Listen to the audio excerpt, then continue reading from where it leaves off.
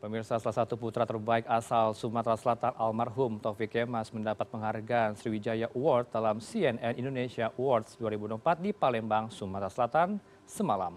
Almarhum Taufik Kemas juga mendapat penghargaan Sriwijaya Award dalam kategori Extraordinary Devotion to Unity and Nationalism.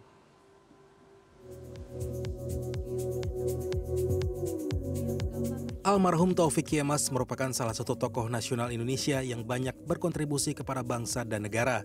Ketua Majelis Permusyawaratan Rakyat periode 2009-2013 itu merupakan penggerak nasionalisme yang gigih dalam menanamkan nilai-nilai kebangsaan dan persatuan. Hingga menghembuskan nafas terakhirnya, Taufik berinisiatif menanamkan empat pilar yang menjadi spirit dan menjadi hal mendasar yang senantiasa terpakai sepanjang bangsa Indonesia berdiri. Atas jasa-jasanya, pada CNN Indonesia Award 2024, Taufik Kiemas diganjar penghargaan Sriwijaya Award Extraordinary Devotion to Unity and Nationalism. Ketua DPR RI Puan Maharani yang merupakan putri Taufik Kiemas bersama Megawati Soekarno Putri tampak bangga di antara tokoh-tokoh yang hadir pada CNN Indonesia Award 2024. Menurut Chairman CT Corp Khairul Tanjung, Taufik Kiemas adalah seorang tokoh yang tak lekang dimakan zaman dan sulit untuk dilupakan tokoh yang baru saja disampaikan yaitu almarhum Bapak Topik Kemas.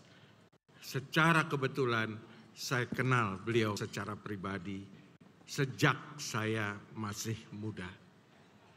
Kebetulan ayah saya adalah seorang wartawan yang terafiliasi dengan partai di mana beliau terlibat dari saat awal. Ya. Ketika ayah saya meninggal, beliau pun mengantar sampai ke kuburan. Ya.